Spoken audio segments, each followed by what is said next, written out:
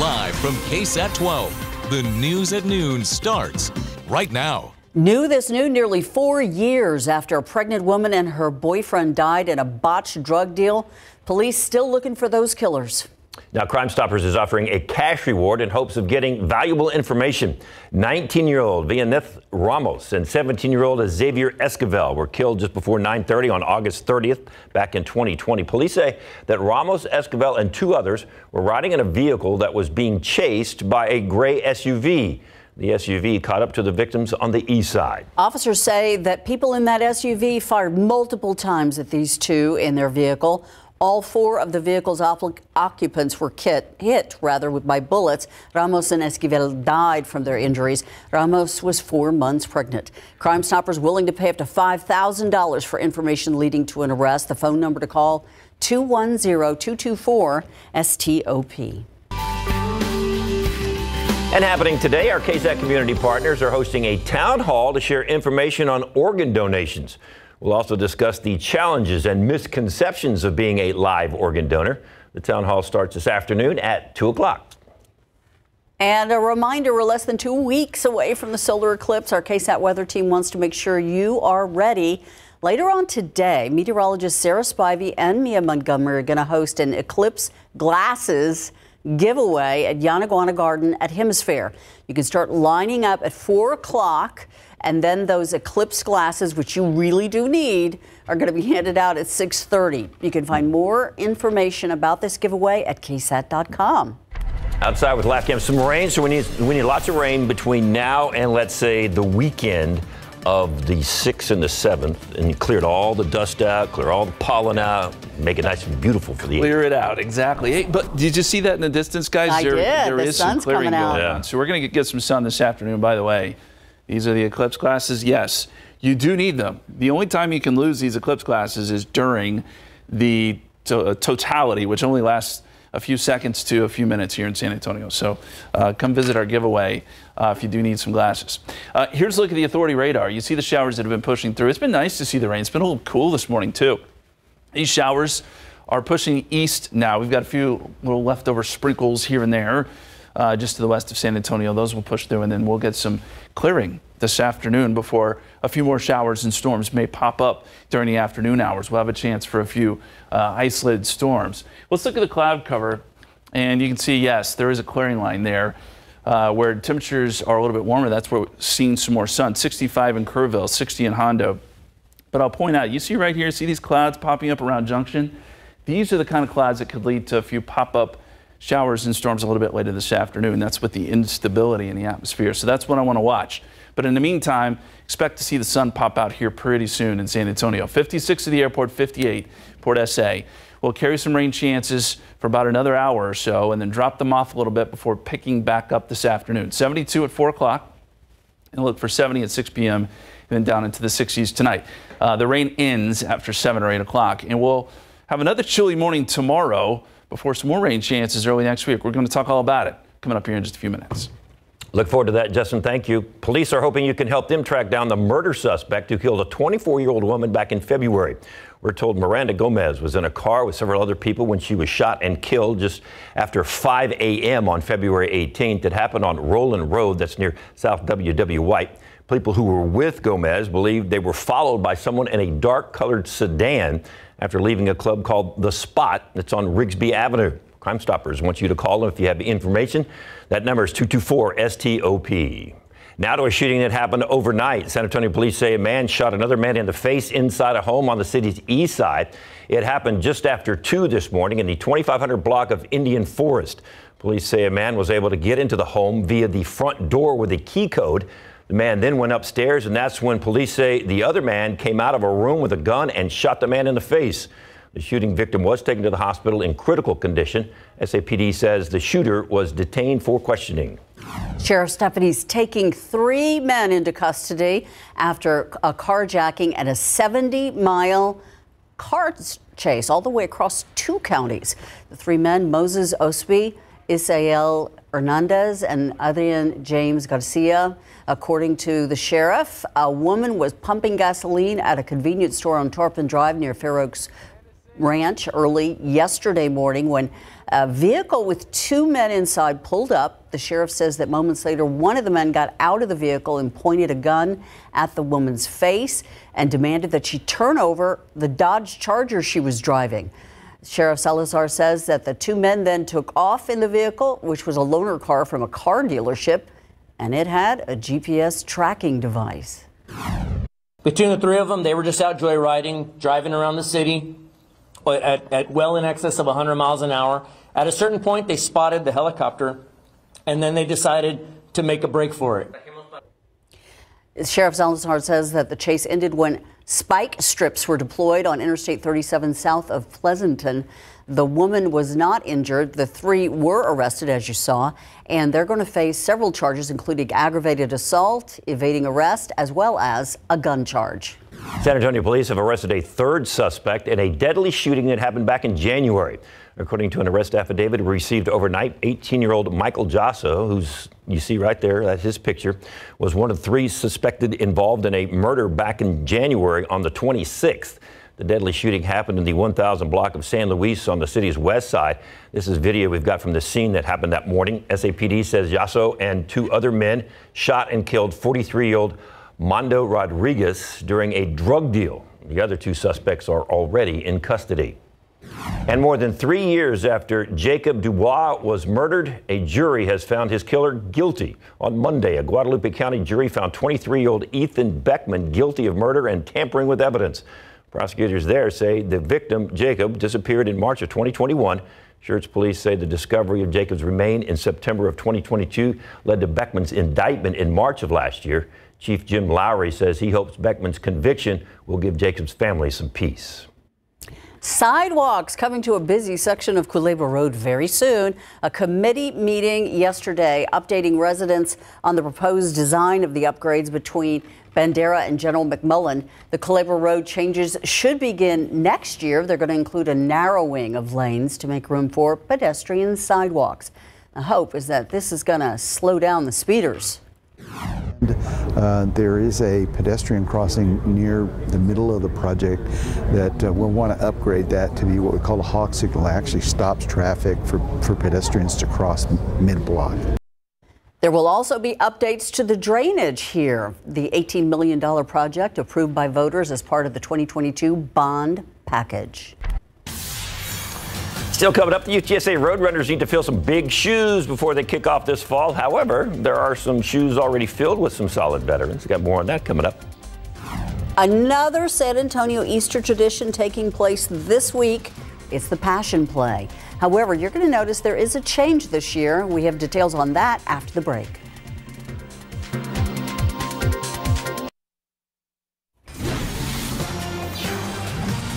Thousands of people set to gather in downtown San Antonio this Friday for the Passion Play.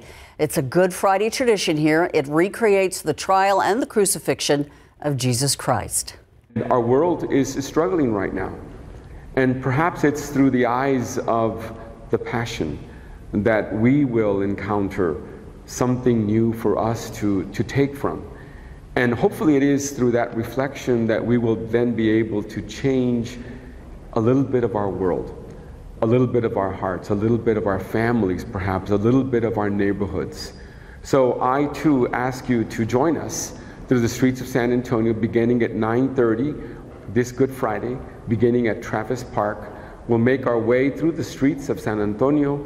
We'll end up in front of the cathedral at 12 noon, and then we will continue with our moments of reflection. All are invited, all are welcome. It is a powerful event. Once again, the procession, rather, is going to start on Friday morning. It's going to be at Travis Park, and that's a change from previous years when it used to start at Milam Park. The procession is going to lead to Main Plaza, and that's where the reenactment of the crucifixion will take place in front of San Fernando Cathedral. The San Antonio Passion Play dates back to 1983. Back then, the wooden cross carried by the actor weighed 150 pounds. Now, a 50 pound cross will be carried by the actor portraying Jesus. KSAT's going to be live streaming Friday's Passion Play. So if you can't make it downtown, you can watch it on our air on our website on Friday. You can see the full schedule of events as well for the Passion Play and Good Friday on ksat.com. So we are almost halfway through Holy Week leading up to Easter Sunday. And this year, the Archdiocese of San Antonio will celebrate 150 years. It's a long time. And so uh, we're really excited. And this is bringing a new life to all of us and to the whole church. All the priests of the Archdiocese got together yesterday at the Holy Spirit Church on Blanco Road to celebrate the establishment of the Archdiocese in August of 1874. The priests also renewed their promises during a special Mass last night. This is just one of many events planned for this year to celebrate 150 years. Taking a look outside with live cam, uh, you can see it's a little murky downtown, but it looks like it's clearing all the way around the city.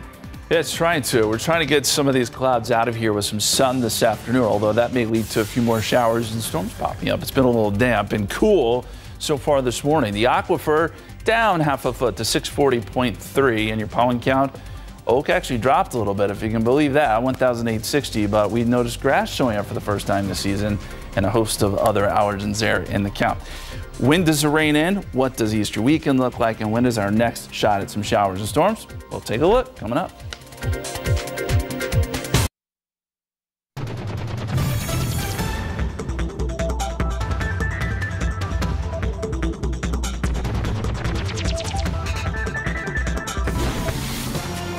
You know, the last three or four questions I've been stumped. I wish they'd just give me an easy one. Okay, SA Live. Mm-hmm. All right. Where are you, Mike? Fiona. There he I'm is. Okay. Well, of course, Easter is this weekend, Uh-huh. so we want to know: Easter baskets should always contain what, What? or Oh. what should always be in your Easter basket? It's an basket? easy one, David. Candy. Well, yeah. What kind of Get candy? specific. I Specific. don't- I- whatever. Whatever you want to throw in there, I'll eat it. I'm not I, picky I on the just candy. made one up for my son, Uh-huh. and it's got a big. It's got to have a big chocolate rabbit. Okay. Yeah. Okay. There you go. Okay. Jelly beans, some of those, some of those Whoppers, and then you Yeah, can throw. one just no, like that. no, we don't need peeps. You don't like and then peeps? a chocolate. No, no, You're anti-peeps? no, I'm anti-peeps. Did you see what she just said, David? Huh? You like peeps?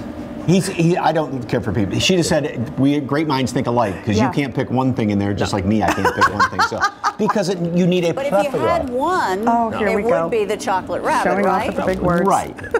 So And a stuffed anyway. animal.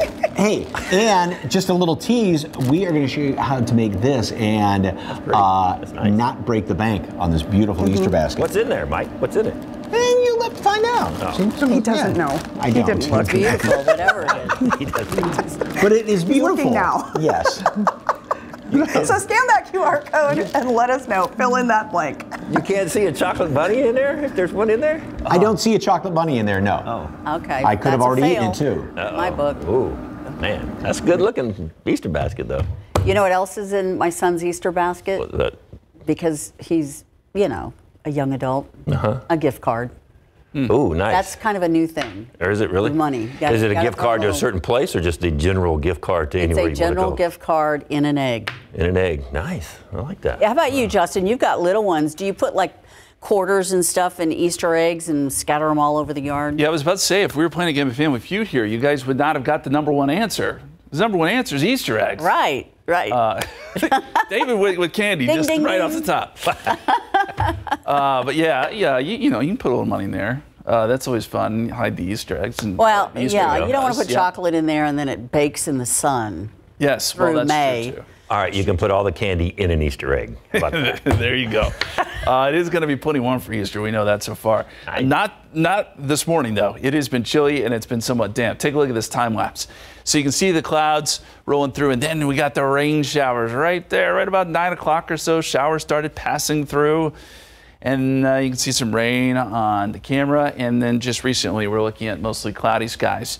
Uh, here's a look at the radar most of the significant rain has passed, and even then it was it was fairly light, didn't add up to a whole lot. But we still have a few sprinkles that are showing up on radar, especially across western parts of Bexar County. So we're not completely done with the rain. It's just anything we have left here is going to be pretty light. We've also got a clearing line that's trying to work down into the city with some sun shining in places like Bandera out towards Leakey. And the forecast shows that this will continue to push east with that clearing line coming through San Antonio. Now, as we said earlier, what will happen then once we get a little instability this afternoon, we could see some pop-up isolated thunderstorms show up. This is around 5 o'clock, and it shows that uh, activity, and then that would last through about 8 p.m. before we lose the daytime heating, and most of this would go away. So we are going to keep rain chances in this afternoon. It's just that it will be hit or miss type stuff. So our forecast looks like this. Uh, we'll bring down rain chances briefly and then bring them back up a little bit to 20% this afternoon. 70 at 3 o'clock, 72 at 4 p.m. That's, uh, that's our high. If we get there, that's going to be incumbent on the clouds moving out, but I think that they will. 65 at 8 p.m. when we take the rain chances away. Then as we get into tonight, you start to see those temperatures dropping. And by the way, we'll be back in the 40s, I think, or at least close to 50 tomorrow morning again. So it'll be jacket weather for one more morning and then things warm up from there. Outside right now, the sun's trying to shine through. We've got 56 at the airport. Places like Kerrville, where there is some sun, look at that number, 65. It's not every day that Kerrville is nine degrees warmer than San Antonio, but that's where we are right now. 54 New Braunfels, 55 in Seguin and Boerne. And again, the reason why Kerrville is so much warmer is because the sun is out. Uh, we've still got clouds over San Antonio and Hondo. And then, as I said off the top of the show, too, we're going to be watching these clouds here and then these as well. These are the kind of clouds that will bubble up into some showers and storms. And that may happen sooner rather than later, just looking at the satellite picture.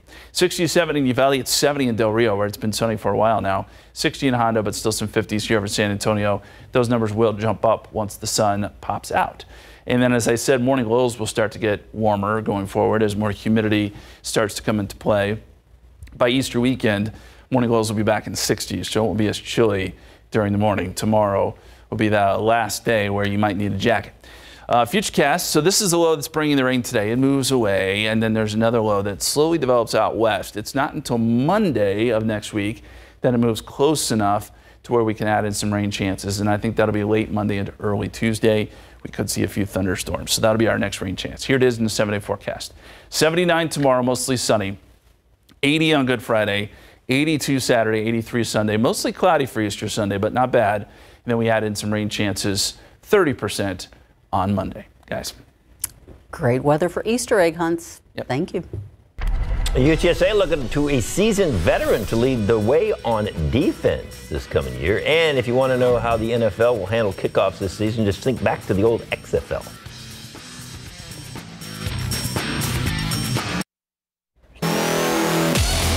Nice Spurs season winding down once again tonight. They're getting ready to host the, no, not host, go on the road to the Utah Jazz. The question is, is will Victor Wembanyama play this? Remember, he said out last game, got that sore ankle. So we'll see if he even made the road trip even there, or if he's going to wait and play when they come back home after they go to Utah tonight. Tip off for that one is at 8 o'clock. Hey, UTSA Roadrunners in week three of spring football drills at the race practice facility. And one guy to watch this season is fifth year senior Donnie Taylor. Last season, he had 46 tackles, two sacks. The former star player out of Shiner High School is a guy Coach Traylor can really trust this season. You know, when he came out of Shiner, he was uh, uh, just kind of a knucklehead, to be honest with you, and he'd made the turn, and now he's a single digit guy. And now he's a guy like I lean on him to lead. He knows what I want, and I know he can give it to me. Every day we just getting better. It's just stacking days, uh, correcting the stuff that I messed up on the day before, I mean, it's, it's, you're never going to have a perfect day, but you can always strive to be perfect. A lot of us coming out of high school are knuckleheads. Donnie is the younger brother of former UTSA player Dadrian Taylor, so good luck to him. Hey, NFL owners approved a new kickoff, which would be similar to the format that originated in the XFL. It's all kind of wacky when you look at it, but it kind of makes sense. During the 2024 NFL season, kickers will continue to kick from the 35, but the other 10 players on the kickoff team will line up at the receiving team's 40 yard line. At least nine members of the return team will line up in the what's called the setup zone. That's between the 35 and 30 yard lines. Up to two returners can line up in the landing zone between the goal line and the 20 yard line. No one other than the kicker and returners can move until the ball hits the ground or hits a player inside that landing zone. The NFL wants to make kickoffs exciting again, but with player safety in mind, Dallas Cowboys special teams coordinator John Fassel likes it. Biggest benefit we're going to get from this, because this isn't just NFL, this is hopefully going for a long time, is the college potentially adopting it, high school adopting it, flag football adopting it, like Riz said. I think that would probably make us the most proud of seeing this go to the other parts of football where today I feel like we made football better And I feel like we made football safer, and that's going to trickle down to a whole bunch of other levels. Yeah, last year got kind of old because the kickers always kick it out of the end zone, or the guys make a fair catch. You never see a kickoff return. That used to be a, beg, a, a great part of the game. Yeah. Yeah. So maybe this will be safer and a lot more exciting. There were some really good ones by LSU last year. Do you remember that? I, mm, I'm trying to think. FDA approving a new drug that may help stop and even reverse a rare fatal condition that doctors call a ticking time bomb. We have details on that in the next half hour. Paying with a credit card could soon get cheaper thanks to an historic new agreement on so called swipe fees. A look at the $30 billion deal that could affect the way you pay at stores. Search and rescue efforts have turned into a recovery today for the six construction workers who went missing when the Francis Scott Key Bridge collapsed. I'm Christiane Cordero in Baltimore with the latest in the investigation coming up.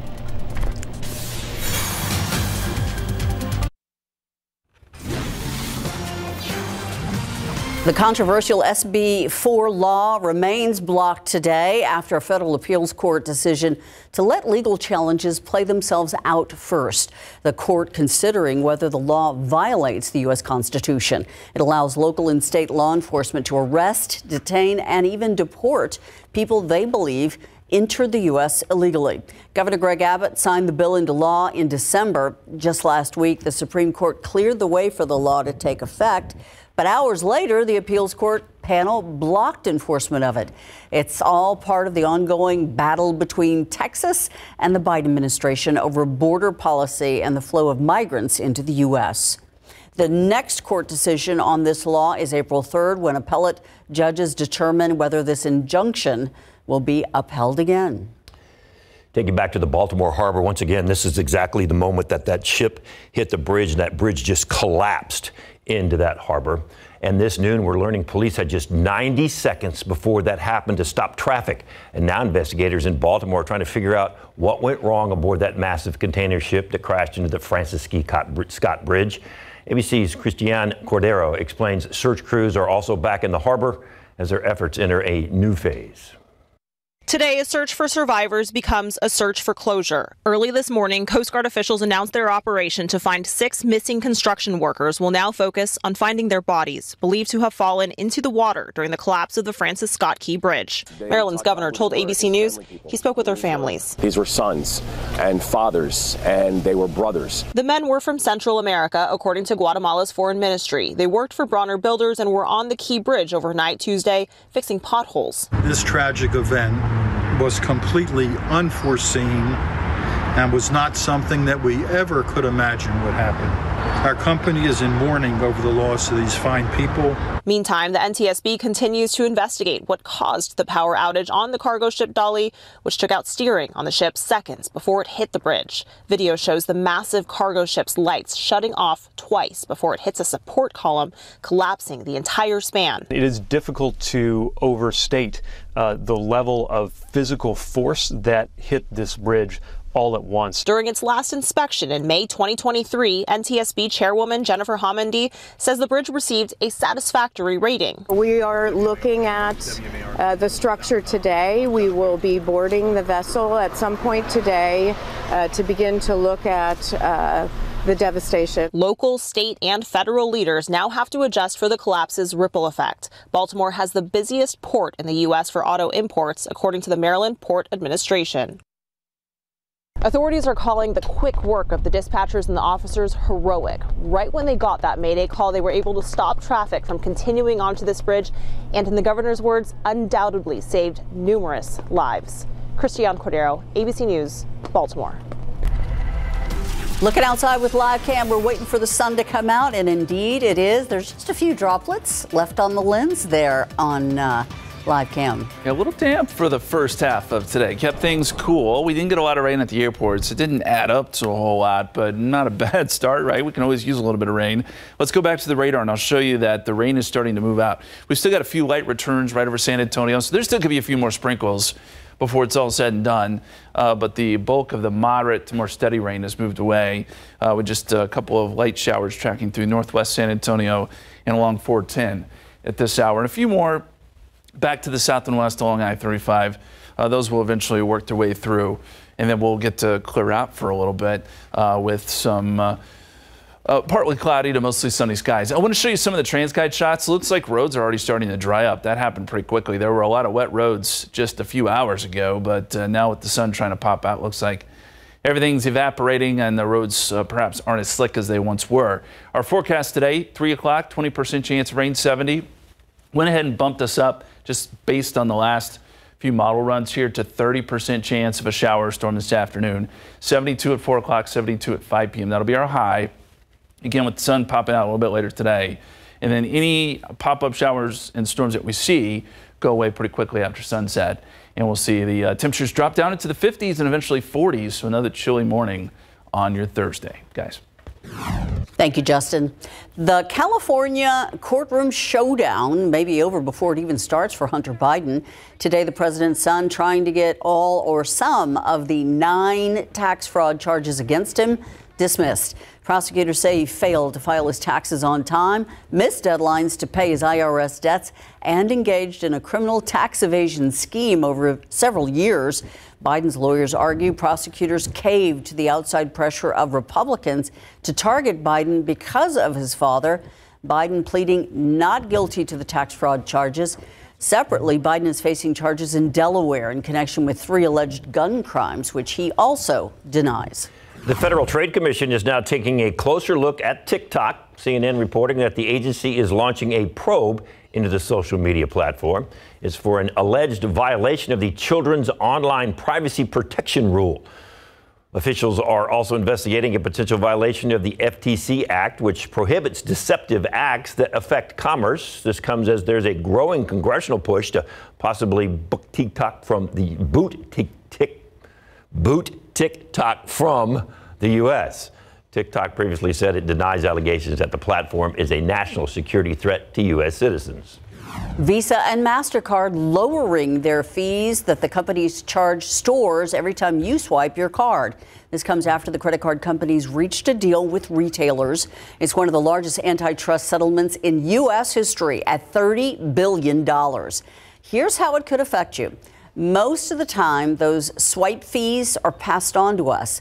But with this latest settlement, the savings retailers will see will likely get passed down to us. They should make it easier to pay with a credit card because what they will do now is not probably not charge a, a surcharge on top of the, the, the, price, but give discounts for those uh, issuers and banks and networks that give them a better deal. The U.S. District Court for the Eastern District of New York still has to approve this settlement. The White House has released a plan to increase the supply of affordable housing. It comes at a time when housing prices are high and continuing to go up. CNN's Jen Sullivan takes a look at the president's proposal and whether it will help in the current housing market. Housing prices continue to rise. The National Association of Realtors released their February numbers last week, which showed median home sale prices are at $384,500. That's 5.7% higher than this time last year. It's the eighth month in a row prices have gone up, and the price hikes are in all four regions of the U.S. It's something President Joe Biden wants to change.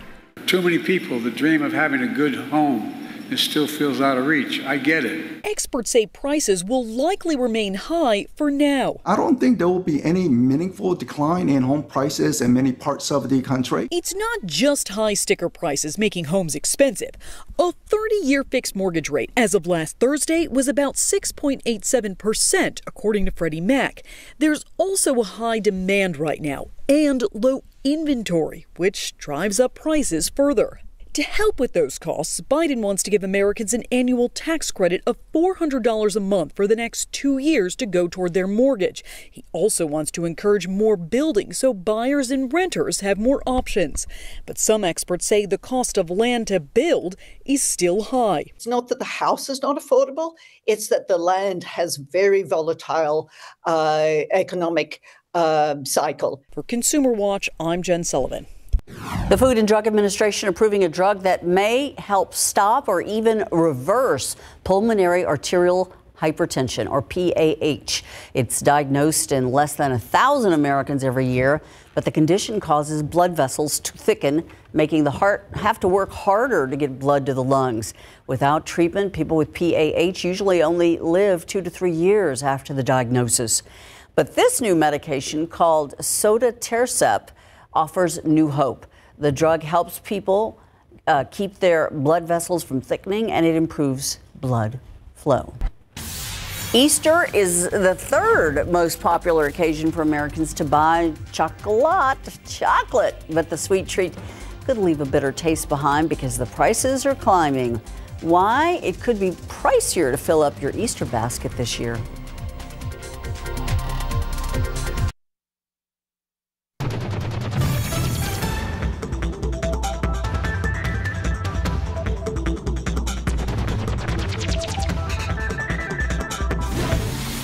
Talking about those chocolate Easter bunnies? Oops. Your Easter celebrations could be more expensive this year. One reason chocolate prices are hitting a new high. There's a number of things that have led to these very high prices. Uh, chief among them is a rather large drop year on year in cocoa production in West Africa, which is by far the largest producer globally. Yeah, but it's not just cocoa prices. Sugar up more than 12% from last year. For budget conscious shoppers, this year Hershey is offering additional sizes of some treats. Another way to save don't buy your candy too early because stores drop prices on Easter specific treats closer to Easter. For example, Amazon Fresh started slashing prices yesterday with some products selling for as much as 75% off. Meantime, Dollar Tree raising the maximum price on store items from $5 to $7. The company CEO says the price increase was due to a wealthier customer base. It says that the store's fastest growing demographic is people who earn at least $125,000 a year. Three years ago, the company raised the base price of items to $1.25. This past June, it set a new cap of $5. Dollar Tree reported a net loss of more than $1.7 billion back in February. So, as a result, it announced plans to close nearly a thousand stores. David Sears is in the house. That means the Mega Millions jackpot has been won by somebody else. it's back down to $20 million after a winning ticket was sold in New Jersey. According to the lottery, one ticket got an estimated one ticket, one somebody, $1.13 billion. That's the fifth largest Mm. grand prize in the game's history. It is the first mega, rather, the first billion dollar prize in the prize's history. Um, the last big winner was December 8th when the prize was $394 million and it was snagged by two players in California. For those of us who did not win, and that's most of us, right? Pretty much all of us except one. Okay, everybody person. in this room. Tonight's Powerball drawing offers an estimated $865 million jackpot, which would be the fifth largest in that game's history. And I was going to take you and Justin to a really nice lunch. You were going to give us lunch A, a really nice lunch, but you know. in Paris? You would have been gone. you wouldn't even have been here. Hey, listen, you don't need to play the lottery. Just go outside on April 8th and look up at the eclipse. It's like winning the lottery. We're very lucky to have this. The odds of it happening over here in San Antonio are, are uh, pretty low. So this is pretty awesome. 57 so far today. 47 was low this morning. The record is 31. So we still have gotten below freezing before on this date. That was back in 1913. No freezing temperatures. In fact, it warms up. Uh, we're going to take a look at that forecast for you coming up.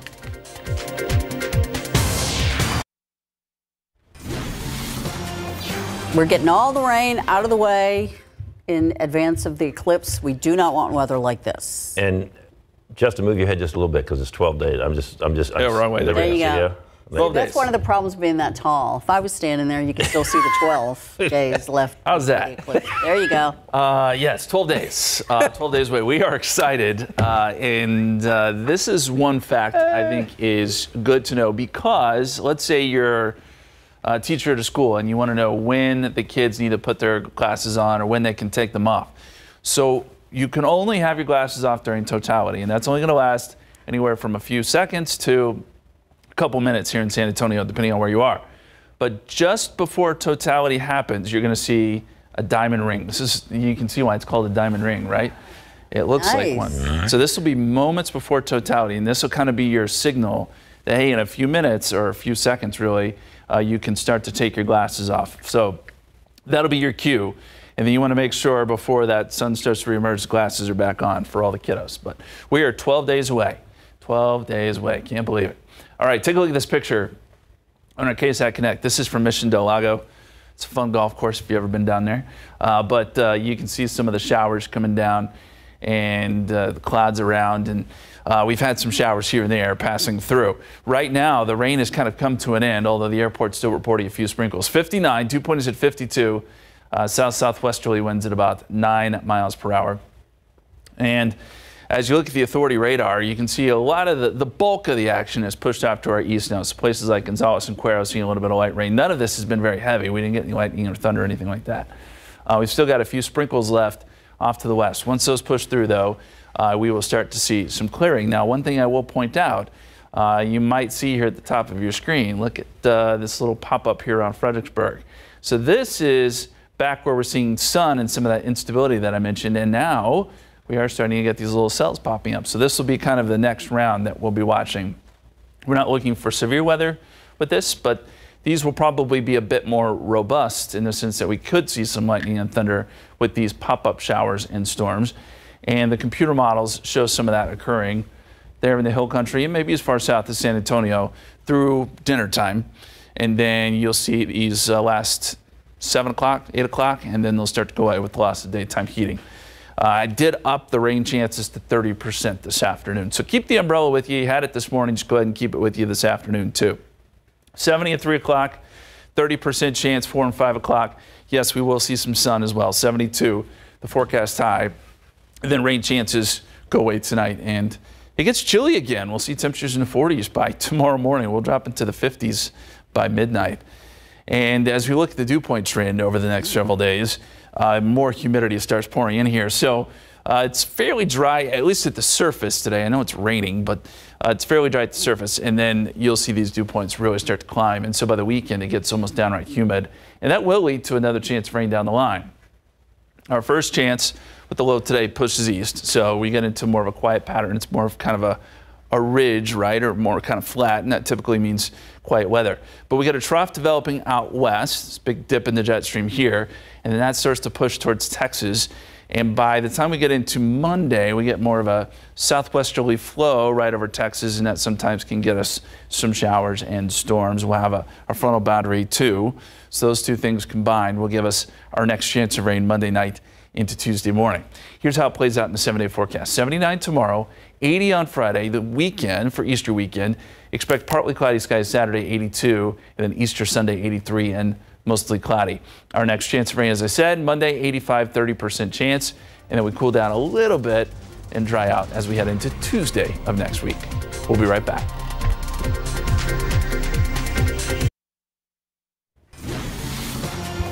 Getting some serious education on this eclipse coming up on the 8th. It's gonna be it's, fun. it's fun to listen It's to fun. all the weather people talk about it. It's fun to watch SA live and what I don't know. Yeah, y'all got something special? Y'all are going to be live too. Yeah, y'all gonna be Yep. live too, right?